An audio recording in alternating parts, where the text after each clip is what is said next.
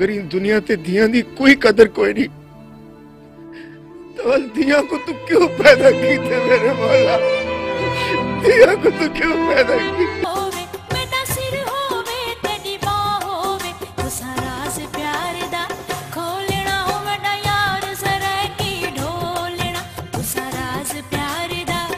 ਵੀਰਾ ਹੁਣ ਕੋ ਵਿਆਹ ਕੌਣ ਸੁਧਰੇ ਸੀ?